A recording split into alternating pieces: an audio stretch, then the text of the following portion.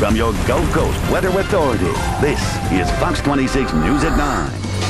At least it was nice out there tonight for local children in need to get out and celebrate the holidays. In fact, in grand style at Houston's Children's Museum, the organization Gifts with Heart helped local kids build these toys for children who might not otherwise get a holiday gift.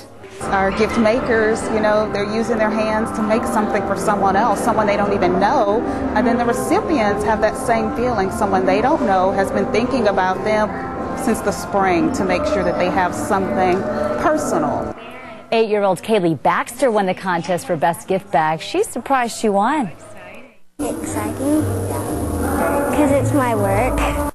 December 19th is designated Gifts with Heart Day in Houston. And I volunteered the past few years with that group, and to see the smiles on those kids' faces is just worth yeah, a million dollars. well, it's dollars. very nice that you did that, and obviously we also have some donors, very generous donors here at the station as well. Very, very, very mm -hmm. much so.